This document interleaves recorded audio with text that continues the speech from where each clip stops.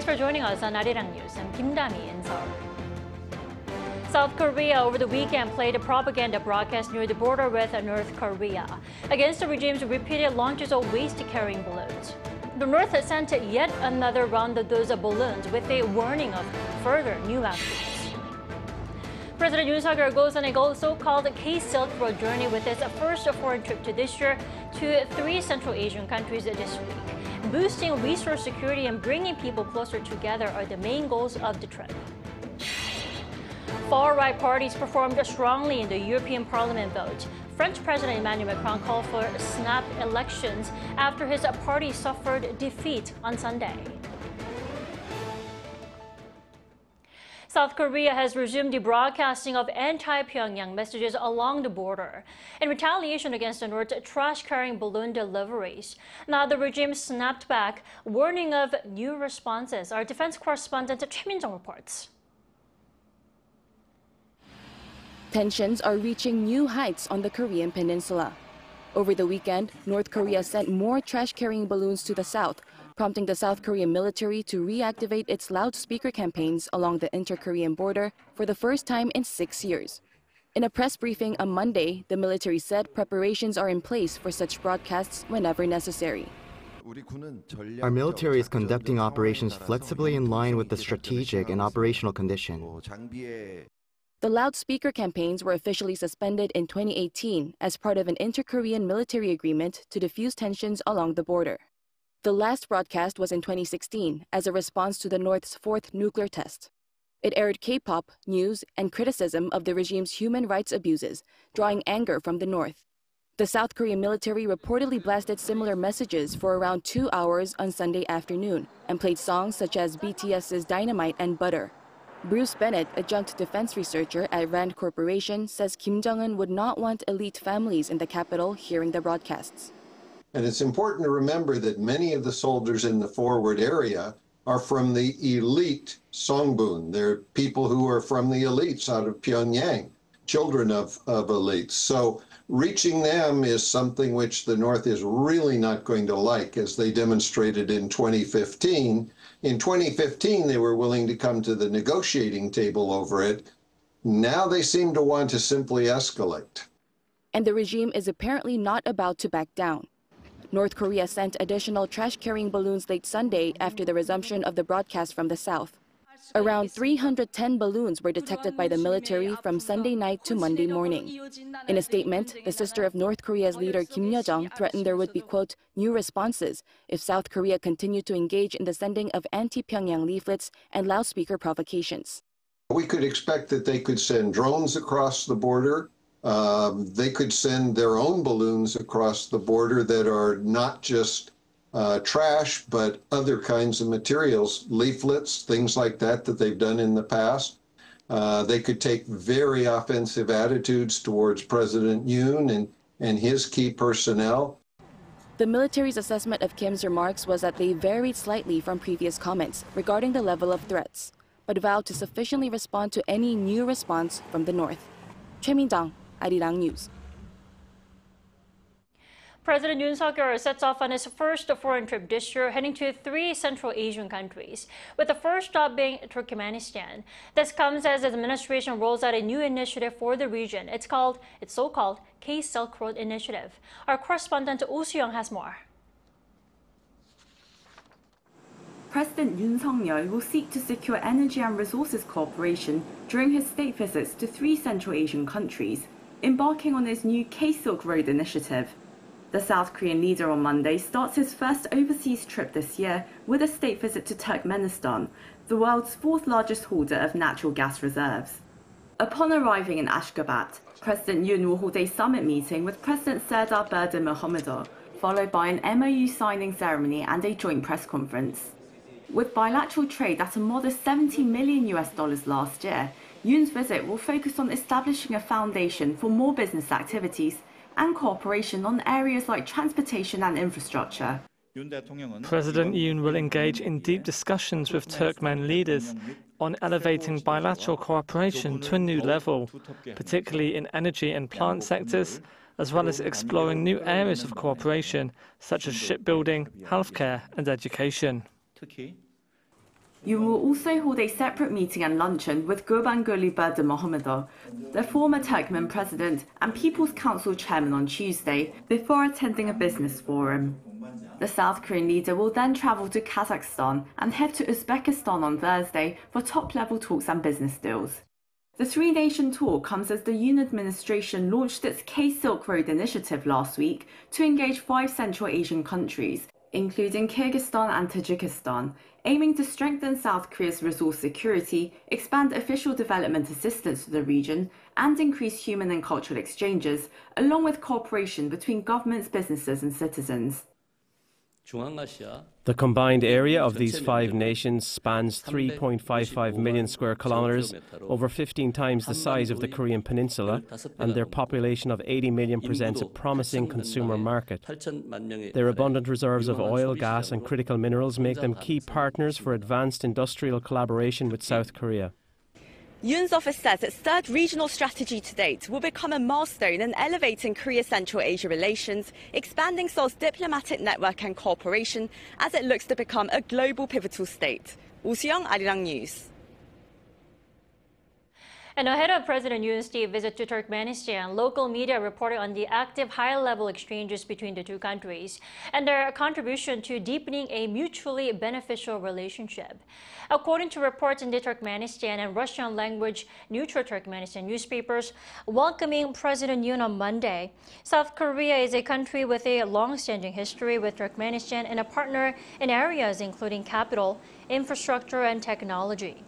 The reports also said South Korea is actively playing a role in contributing to the peace and prosperity of the international community under the banner of a global pivotal state. Amid doctors are planning to hold a general strike next week here in South Korea, the government has ordered them to continue medical treatment and re report if they are off duty. Our Park Kwon-woo has the latest.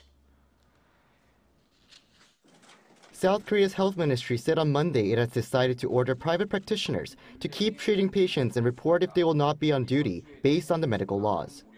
That's a response to the doctor's decision to conduct a general strike next week. The health ministry also said it would review whether the Korea Medical Association has been violating the Fair Trade Act by encouraging doctors to participate in collective action. Doctors affiliated to the KMA announced on Sunday that they will halt medical services on June 18 and hold a general rally with 140,000 members and medical students that day. That was decided after a vote last week, which was participated in by more than 60% of KMA members. When asked about whether one would participate in the walkout in June, over 70% voted yes, which a KMA official said was an overwhelming result. The Emergency Committee of Professors at Seoul Medical University and Seoul National University Hospital has also decided to stop outpatient services and surgery starting next Monday. Amid doctors announcing these plans for a general walkout, the government gave its stance on Sunday. These actions are not just a huge burden on the emergency care system, but they also leave a deep scar on our whole society. The government will try to persuade the medical community right to the last minute to prevent a general strike and will put all efforts into minimizing medical gaps. The government once again promised that it would not punish junior doctors who return to work. Park Kwon-woo, Arirang News. In the first five months of this year, exports to the U.S. surpassed those to China. Now, if that trend continues, annual exports to the U.S. could exceed those to China for the first time in 22 years. Our Choi Soo-hyung reports. From January to May this year, South Korea's total exports to the United States exceeded its exports to China. According to the Trade Ministry on Monday, if this trend continues in the second half of the year, annual shipments to the States could surpass those to China for the first time since 2002. Between January and May, South Korea's exports to the US totaled 53.3 billion US dollars, which is 610 million dollars more than the 52.7 billion dollars of exports to China. Across the whole of last year, exports to the U.S. were $115.7 billion, which was $9.1 billion less than exports to China. However, since 2016, exports to the U.S. have been steadily increasing, driven by sales of cars and batteries. They surpassed $100 billion for the first time in 2022 and reached a record high last year. For large companies, exports to the U.S. last year reached $79.5 billion, surpassing their exports to China for the first time in 20 years thanks to increased sales of eco-friendly cars, SUVs and machineries. Small and medium-sized companies are also like to export more to the U.S. than to China this year, driven by a surge in cosmetics and machinery exports. In contrast, exports to China have been falling since 2021. They hit a record high of $162.9 billion in 2021, but due to the slowdown in Chinese manufacturing, they fell to $124.8 billion last year. However, the situation could change as the Chinese economy is slowly starting to recover. Recently, the international credit rating agency Moody's raised its forecast for China's economic growth rate this year from 4% to 4.5%. In April, the Bank of Korea predicted that exports to the U.S. would continue to boost the Korean economy, supported by increased investment by Korean companies in the U.S. and sustained U.S. consumer demand. Choi Hyung, Arirang News.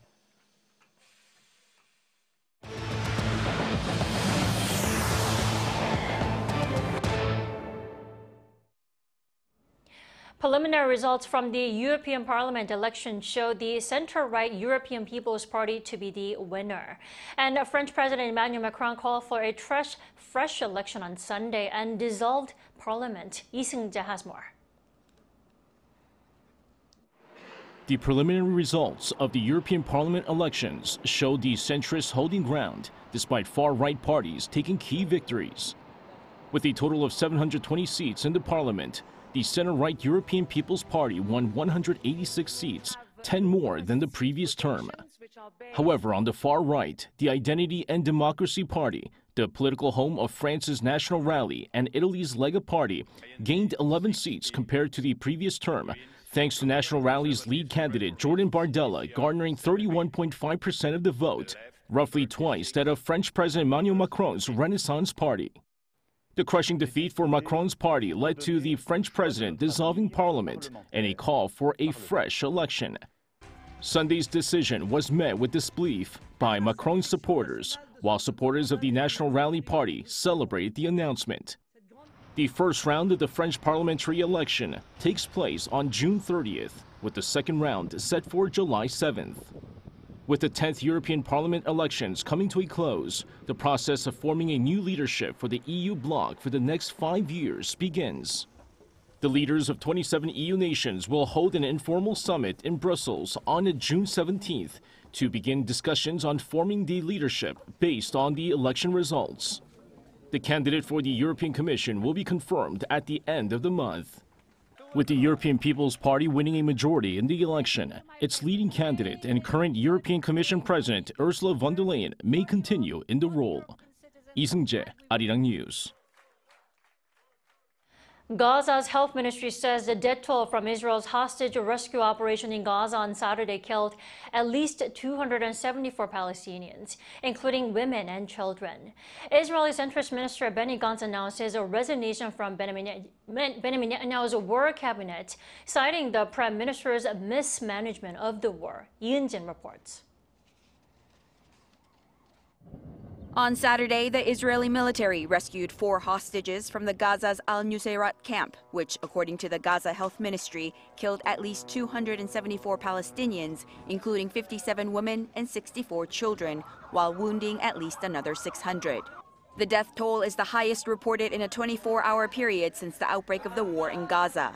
Israel Defense Forces Rear Admiral Daniel Hagari said the latest operation had been planned for weeks, with the unusual daytime raid intended to create a greater element of surprise despite the greater associated risks. The Israeli military said that a special forces officer was killed during an exchange of fire. According to Hamas, three other hostages, including one with U.S. citizenship, were also killed in the raid. Meanwhile, on Sunday, Israeli Minister Benny Gantz announced his resignation from Israel's three man emergency war cabinet. Last month, Gantz had set a June 8 deadline to Prime Minister Benjamin Netanyahu to come up with a clear post war strategy, which the Prime Minister had brushed off. And following the rescue operation on Saturday, Gantz delayed his decision by just a day. Unfortunately, Netanyahu prevents us from progressing to the real victory, which is the justification for the painful and ongoing price. That is why we are leaving the wartime cabinet today with a heavy heart, but with a whole heart. While Gantz's departure would not pose an immediate threat to the Israeli government, it may leave Netanyahu more reliant on his far right coalition, who stand against the latest U.S. backed ceasefire proposal. This suggests there's no end in sight for the ongoing Gaza war, which has killed over 36,700 Palestinians. Ian Din, Arirang News. The latest track from K-pop superstar BTS Jungkook titled Never Let Go has swept across global iTunes charts. According to his label Big Hit Music, the digital single topped the charts in 96 countries, including the US, Italy, and Japan, a day after its release on Friday last week. Now, the song is dedicated to the band's fans ahead of the anniversary this Thursday of the debut of BTS. Events such as a fan meeting with another BTS member soon to be discharged from military service, that's Jin, are also lined up for this week. Jungkook was listed as Billboard's top K-pop artist earlier this year, with his album Golden staying in the US Billboard 200 chart for longer than any other K-pop solo album. The COVID 19 pandemic is over, but it is necessary to prevent the next pandemic by a coronavirus since it's highly transmittable to humans. Domestic researchers have identified four types of coronaviruses along with COVID 19 that infect people utilizing different infection strategies. Cha Young has a story. The name coronavirus is derived from the Latin corona, meaning crown, because the spikes on the virus surface resemble a crown. Coronaviruses mostly cause diseases in wildlife and livestock. So far, there are seven identified variants that cause infections in humans. The common cold virus that repeats each year is a representative low pathogenic coronavirus. Other variants that have caused pandemic include SARS in 2003, MERS in 2012, and COVID-19 in 2019. What is the difference among infection routes taken by the coronavirus variants? National researchers have analyzed the infection strategies of four coronavirus variants. As a result, they found out for the first time that each virus attacks different parts of bronchial cells. Researchers created a bronchus organoid, similar to four types of bronchial cells in the human lung primarily. Consequently, they observed the cold virus infected Clara cells, SARS and COVID 19 infected ciliary cells, and MERS infected goblet cells. In the case of the MERS virus, we were able to find that it unusually infected goblet cells. The reaction of the host organism to prevent reproduction rate by the four coronavirus variants was also different. When the organoid was infected with SARS, the host controlled the energy needed for the reproduction rate of the virus. The host organism regulated the production of mucus when the organoid was infected with MERS. In the case of COVID 19, protection was vitalized through calcium ions transmitting signals from cells. We were able to figure out that a coronavirus can infect different parts of cells. As infectious disease specialists predict another pandemic in the foreseeable future, it is expected that the result of this research will help to develop targeted therapy for each coronavirus variant. Cha Yoon-kyung, Arirang News.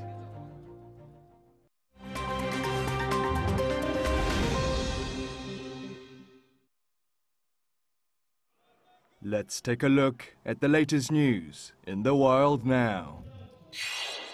We begin today in India, where Narendra Modi was sworn in for the third time as the country's prime minister on Sunday in a grand ceremony in New Delhi. In his speech as he was sworn in by India's President Draupadi Murmu, Modi said he will govern with true faith and allegiance to the constitution and that he will, quote, do right to all manner of people without affection or ill will. Modi took the oath on Sunday along with 72 ministers of the new coalition government. While Modi's Bharatiya Janata Party failed to win an outright majority, his leadership of the National Democratic Alliance coalition government allowed Modi to become only the second prime minister to be elected for a third consecutive term. Thousands of guests, including Bollywood stars, attended the ceremony, as did the leaders of seven neighboring countries. As summer approaches, temperatures have been soaring across the southern parts of North America. In Mexico's northern state of Chihuahua, officials say that heat has caused thousands of dead fish to blanket the surface of a lagoon. Thousands of fish at the Bustillos Lagoon in Chihuahua died as water levels became dangerously low after long dry spells with temperatures soaring above 40 degrees Celsius. According to government data, around 90% of Mexico is suffering from some form of drought, the highest level seen since 2011. Local authorities at the lagoon covered the dead fish with lime to mitigate public health risks related to the decomposition of the fish. Meanwhile, cities and towns in the U.S. states of Arizona, California, and Texas broke several calendar day heat records last week as the high pressure heat dome spreads north and west into the U.S. Now to the Congo, where the death toll from Friday's attack by men armed with guns and machetes on villages in the North Kivu province has risen to 41. According to an army spokesperson, the attack was carried out by the Allied Democratic Forces which allegedly also killed at least 16 people last week. The ADF originates from neighboring Uganda, but is now based in eastern Congo. ADF has pledged allegiance to the Islamic State and has been launching frequent attacks in a region riddled by militant groups. Soldiers from the armed forces of the Democratic Republic of Congo went on a foot patrol on Sunday to urge villagers to remain at home and not flee despite the attack. The iconic landmark of Brazil's Rio de Janeiro, the statue of Christ the Redeemer, is clad in traditional Korean hanbok clothing.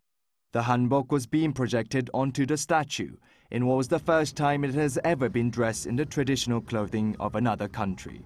The event was to celebrate the opening of the Lights of Korea exhibition, which began at Rio's Museum of Contemporary Art from Sunday, and the G20 summit set to take place in Brazil in November. The Christ the Redeemer Sanctuary stated that the projected hanbok, chosen by the South Korean designer Jin Hee Lee, represents a union between Korea and Brazil, while the garment's belt featured the colors of the G20 logo. Kim Xiang, Arirang News.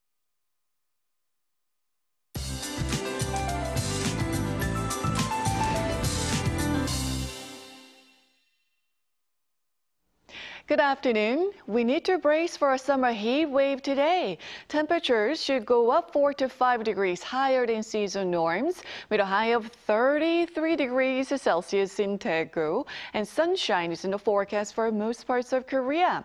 But today is only the beginning. We are looking at midsummer heat this week with temperatures that could nudge toward mid 30s in Daegu and nearby areas, topping out at 35 degrees Celsius by Thursday. And the sun will shine down throughout the week while the humidity will also gradually go up from now on. Meanwhile, Gyeongsang-do provinces could see 5 to 40 millimeters of passing rain, and south of Gangwon-do could receive 5 to 30 millimeters of showers today. Daily highs could go up 1 to 7 degrees higher this afternoon in most places, topping out at 31 degrees in Gwangju, Gyeongju at 34 degrees. Uh, strong UV rays is in the forecast for many places, so please stay hydrated and safe. With that in mind, let's take a look at the international weather conditions.